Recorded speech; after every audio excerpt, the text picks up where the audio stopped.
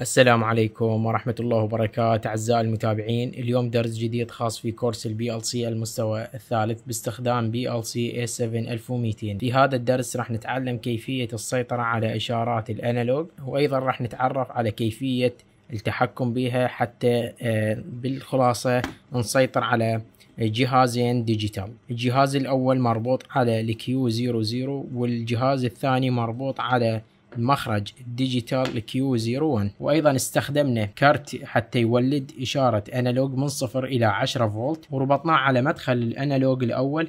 حتى نتحكم ونقرأ إشارات ال analog. وكل هذا شرحته بالتفصيل على قناتنا في اليوتيوب الخاص بكورس ال PLC المستوى الثالث. حاليا راح ننتقل إلى الكمبيوتر حتى نبرمج ال PLC ونتحكم في الجهاز الأول والجهاز الثاني. هذا الجهاز الأول والجهاز الثاني بدوره مربوط مع على سبيل المثال fan و heater okay؟ يعني مثلا الأول راح يكون fan والثاني راح يكون heater. حتى نسيطر على درجة الحرارة ضمن range معين. فعلى سبيل المثال عندما ترتفع درجة الحرارة راح يشتغل ال Q 00 اللي بدوره مربوط على fan للتبريد وال Q 01 راح يشتغل. إذا انخفضت درجة الحرارة أقل من المقرر لها راح يشتغل ال Q 01 حتى يعمل تدفئة للمكان. حاليا راح ننتقل إلى برنامج ال TIA Portal. ونتعلم كيفية السيطرة على هذه الأمور. في الدرس الماضي تعلمنا كيفية قراءة إشارة ال analog وعرفنا كيفية البرمجة الخاصة بها وكيفية عمل ال scaling الخاص بإشارات ال analog. فعلى سبيل المثال إشارة ال analog اللي متصلة مع ال PLC راح تدخل في مدخل الأنالوج آي دبليو 64 وعرفنا كيفية معرفة العناوين الخاصة بكرت ال analog.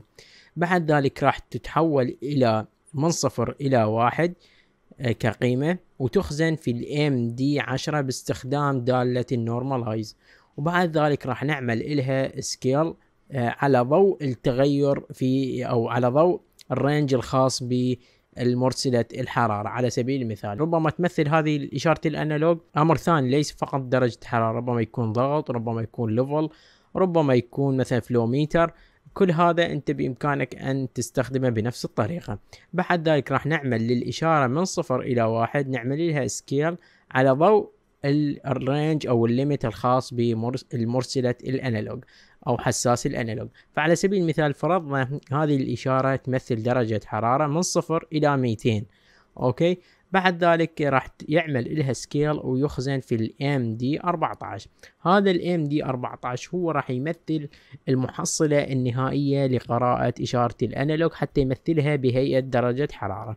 okay؟ هذا راح يكون التغير الخاص به من صفر إلى 200 درجة سيليزي. ومثل ما ذكرنا ربما يكون ال sensor مختلف. يعني ليس شرط إنه يكون درجة حرارة. حتى نعمل control بسيط راح نستخدم دالة ال compare أو المقارن هذه okay؟ راح نعمل آه نستخدم دو الدوال المقارن. على سبيل المثال greater than راح نستخدم دالة ال greater than بال network الأولى وال less than راح نستخدمها بال network الثانية.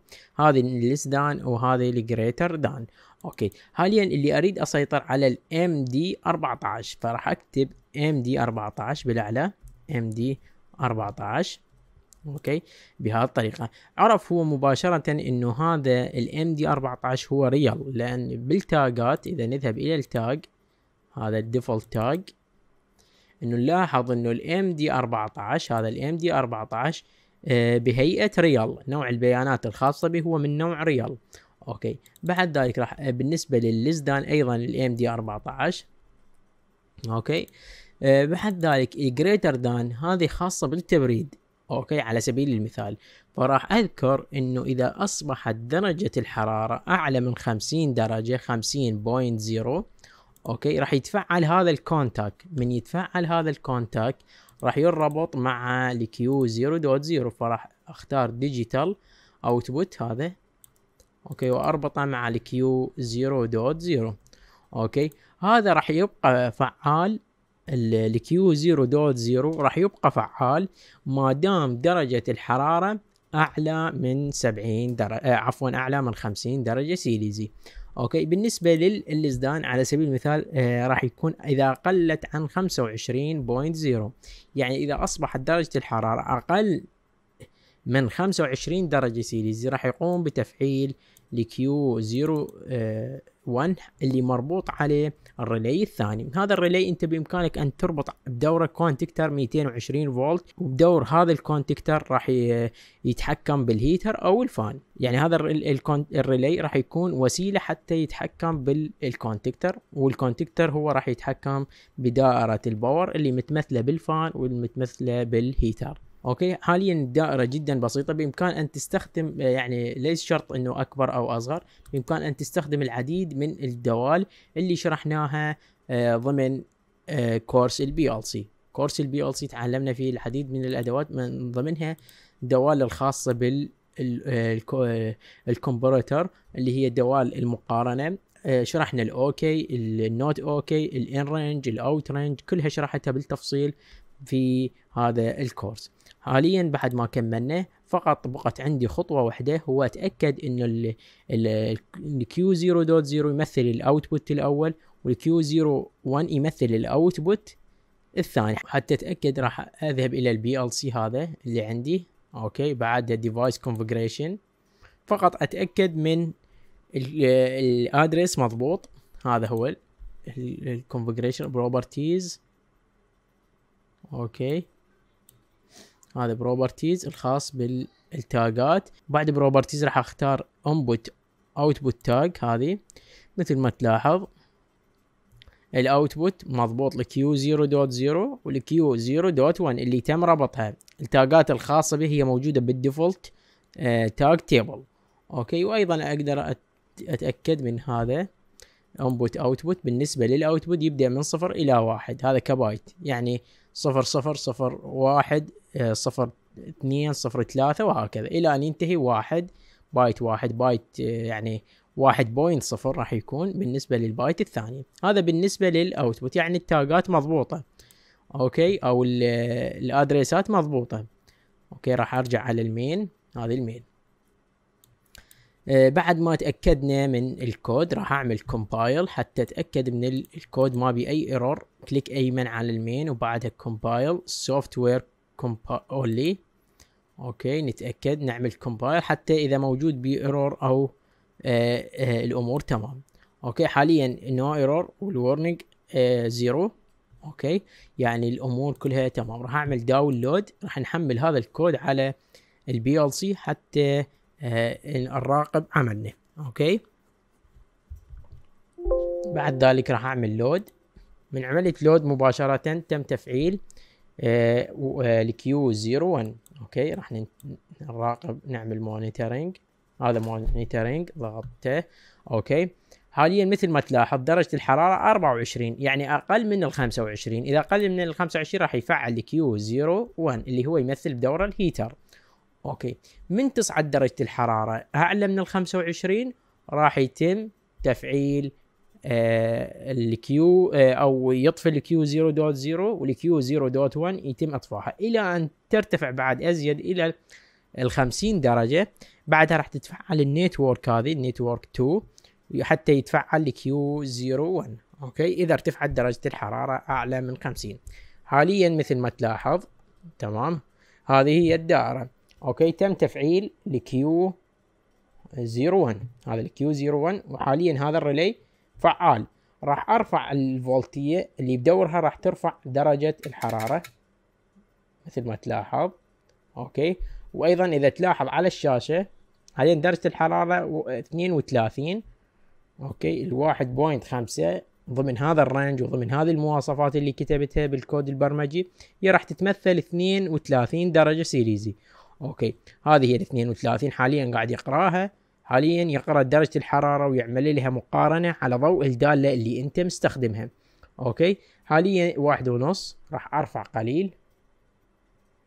okay؟ حاليا 39 مثل ما تلاحظ 39 درجة. وهذا هو مدخل ال analog اللي يمثل الفولتية اللي داخله ال PLC okay؟ مثل ما تلاحظ حاليا درجة الحرارة 48 okay؟ وبعد ال Q 0.0 مطفي وال Q 0.1 أيضا في عملية الاطفاء حاليا راح أرفع قليلا. okay 57 درجة. مثل ما تلاحظ إذا ارتفعت أعلى من 57 راح يتم تفعيل ال Q آه، zero zero اللي بدوره راح يقوم بتفعيل ال contactor. ال contactor مربوط بدوره عليه ال fan للتبريد أو اي آه، آه، يعني output اللي انت تريد تسيطر عليه. مثلا تريد تسيطر على درجة حرارة تريد تسيطر على level معين تريد تسيطر على مثلا flow meter بنفس الطريقة انت راح تعمل المعادلات.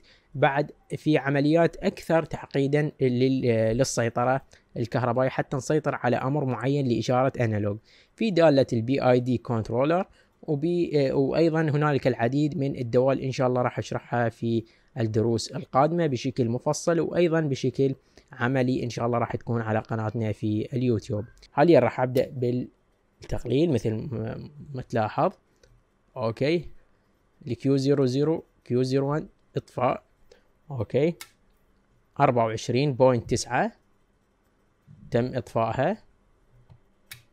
حاليا تم تفعيلها ستة وعشرين. حاليا إذا تلاحظ. عفوا. الأربعة وعشرين. point تسعة. تم تشغيلها تم تشغيل Q zero one okay. أرفع قليل. مثل ما تلاحظ سبعة وعشرين تم إطفائها. okay. إن شاء الله يكون هذا الدرس واضح للجميع. تعلمنا كيفية التحكم وقراءة والسيطرة على إشارات ال analog. إذا عجبك الفيديو لحد الآن غير عامل like. الرجاء عمل like للفيديو. وبالإمكان أيضا دعم القناة ماديا. من خلال الميزات اللي موجودة على قناتنا في اليوتيوب سواء كانت ميزة الانتساب أو ميزة آه شكرا حتى تكون هنالك فرصة لتطوير محتوى ومعدات القناة. إلى هنا نصل وإياكم إلى نهاية هذا الفيديو. تقبلوا تحياتي وإلى اللقاء.